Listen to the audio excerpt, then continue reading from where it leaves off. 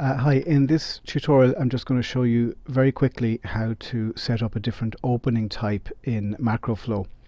Now I've got nothing in my model here and I don't need anything because all I'm going to do is look at some settings for Windows. So I'll come over to MacroFlo and up here to the opening database and you'll see here that there is a, a standard uh, window opening that uh, the IES software gives to you. Now if we want to put in our own version of that we come down here to add and I'm just going to rename it and I will call it uh, new window. Doesn't really matter what I call it um, maybe I'll just call it new window 20 degree and you'll see why I've called it that in a second. Um, exposure type well really um, if we're dealing with just buoyancy effect um, you can leave that as internal. Um, if you think it's more accurate to use one of the options to do with the exposed or sheltered um, roof or wall, then use that one. Um, I'll, okay, I'll just pick semi-exposed wall here for a second. Now the opening category is something that you just maybe want to think about, uh, particularly if you're dealing with a multi-story building.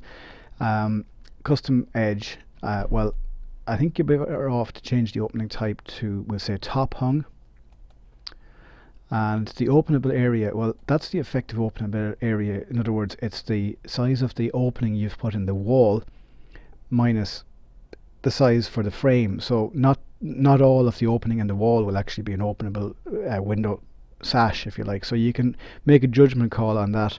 Um, I'll just go with say 90% there. And this is the bit you got to uh, think about here is the maximum maximum angle opening 20% now effectively what that's going to mean is that the window will be top hung and as it opens out uh, it will it will stop at 20 degree opening angle. So it won't open all the way out and I suppose there's a very real uh, saf safety uh, reason for stopping it from opening all the way out. So just to re recap here we've changed the default opening category from custom to top hung. Now you could change it to bottom hung if you want. Openable area 90 which accounts for some of the opening in the wall being uh, taken up by the frame of the window and the openable angle is 20 degrees. And you can check your local building regulations. You might get away with something bigger than that something smaller than that.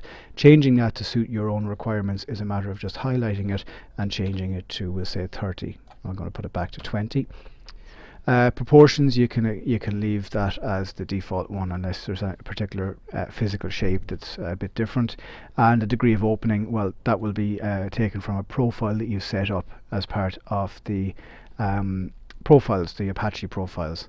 So that's how you set up a new window type and make an account of the fact that you want it to be openable by only 20 degrees. When you've made those changes you can just go to uh, save and go OK and then that window will be available for you to use in your model.